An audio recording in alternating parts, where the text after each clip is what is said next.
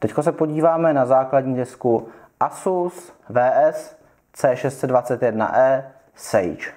Jedná se o dvouprocesorovou základní desku a možná se ještě trošičku dekodujeme, co znamená ten název, takže VS je Workstation, je to do pracovních stanic, ano, dvouprocesorový e, základní desky se v současnosti fakt na nic jiného nepoužívají, než na takovýhle speciální účely. A C621 je chipset, ten serverový, který je na základní desce použitý.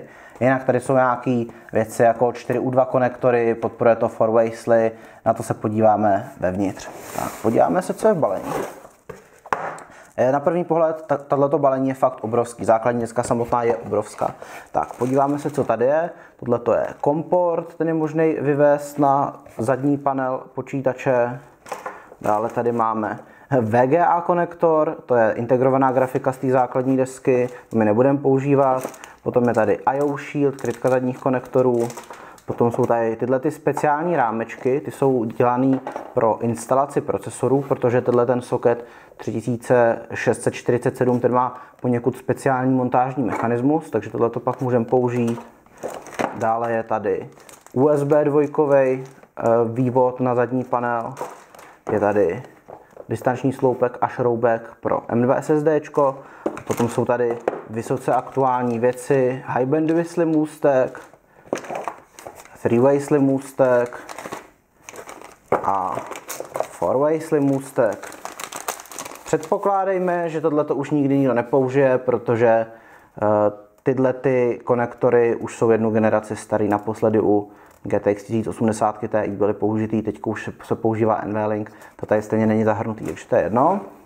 Podíváme se na druhou část, tady je hromada SATA kabelů, podíváme se, jeden, dva, tři, čtyři, pět párů SATA kabelů a vypadá to, že všechny jsou na obou dvou stranách rovný. Takže to je něco, co, co já mám celkem rád.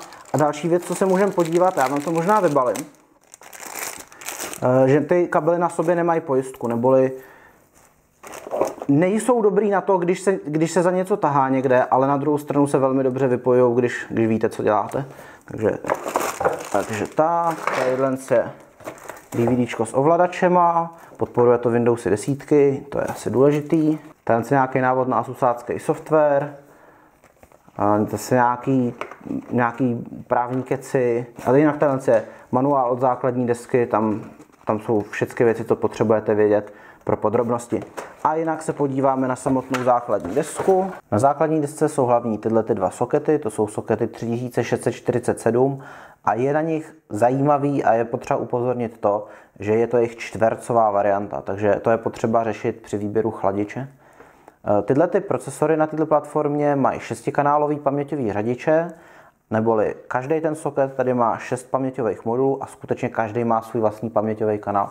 Takže dohromady je tady 12 slotů, může to být dohromady 12 kanálový zapojení. Dále se podíváme na PCI Express sloty, vidíte, že tady je základní skutečně úplně totálně vybavená. Tyhle ty šedý PCI Express sloty ty jsou 16 rychlostní a tyhle ty černé sloty, ty jsou 8 rychlostní. Všechny ty věci můžete mít zapojený zároveň, protože tyhle ty dva procesory dohromady mají hodně PCI Express linek. Když už jsme u těch PCI Express linek, tak ještě dál tady máme jeden M2 slot, to jsou 4 PCI Express linky. Všechno, celá tato platforma má PCI Express 3.0. Takže tam jsou další 4 PCI Express linky na jedno M2 SSD a potom jsou tady 4 mini SAS HD konektory, které umožňují připojit eh, U2 SSD. To, ty vypadají jak podobně jak 2,5 palcový SSD, ale jedná se taky o PCI Express připojení. Takže je, je to alternativa k tomu M2 slotu, k, tomu, k těm M2 SSDčkům, ale má to takový trošku standardnější tvar a je možný to mimo základní desku připojovat. Takže až 4 4 rychlostní další SSDčka můžeme tady připojit. Když už jsme u těch úložných zařízení, tak tady vidíme 10 SATA konektorů, SATA 6G, SATA 3.0 a poslední zajímavá věc je tady konektor, to je takový slot, to je slot na microSD kartu. Tahle základní deska umožňuje bootovat z microSD karty. Je to určený pro servery nebo pro nějaký pracovní stanice, takže tam prostě můžete dát relativně pomalou, relativně malou microSD kartu a ono to bude levný, než kdybyste tam dali třeba fakt výkonný, rychlý, velký M2 SSD. Takže tak, to je taková levná jednoduchá varianta. Dále se podíváme na USB. Na čelní panel je možný zapojit konektory z tady jednoho dvojitého USB 2.0 konektoru a z dvou dvojitých USB 3.0 konektorů. Dále se podíváme na napájecí konektory. Tady je hlavní napájecí 24 pin základní desky, tady je jeden 8 pin, druhý 8 pin, každý ten 8 pin se stará o napájení toho svého procesoru.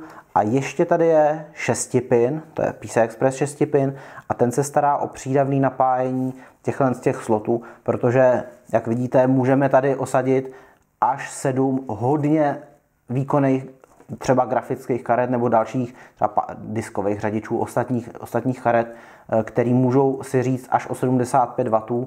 A za normálních okolností to napájení jde jenom z toho 24 pinů, kde je tuším jenom jeden 12V drát.